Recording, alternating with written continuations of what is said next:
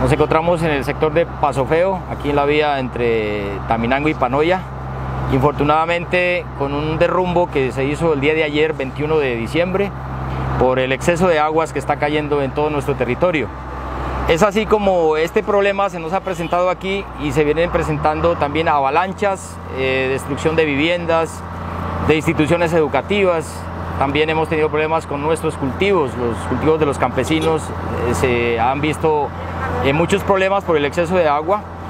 Y lamentablemente pues eh, se está padeciendo eh, muchas problemáticas como en el acueducto de Taminango, el interveredal, el cual en el sector de Turbambilla La Llana ha sufrido un desprendimiento de más o menos 200, perdón, 150 metros de una tubería de 8 pulgadas que para el municipio es pues determinante porque se abastece con esto, se abastece de agua al sector panamericano y varias de las veredas que están eh, en el recorrido pues que tiene este, este acueducto que aproximadamente es de 80 kilómetros de redes.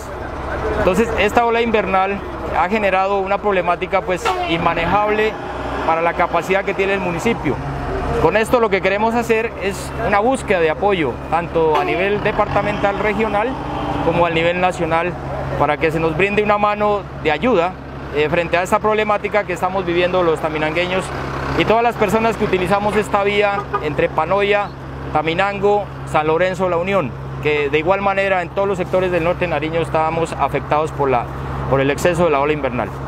Es precisamente frente a esta vía la cual hemos venido trabajando de manera intensa desde la llegada a nuestro gobierno y como quiera que sea en el gobierno del 2012 al 2015 en la búsqueda de proyectos y de financiación para la pavimentación de esta carretera. Precisamente eh, con el señor gobernador desde el año anterior hemos venido trabajando para que el municipio de Taminango presente el proyecto que corresponda a la pavimentación de cerca de 11 kilómetros de vía. Esta vía precisamente eh, la cual requiere pues de manera urgente esa atención.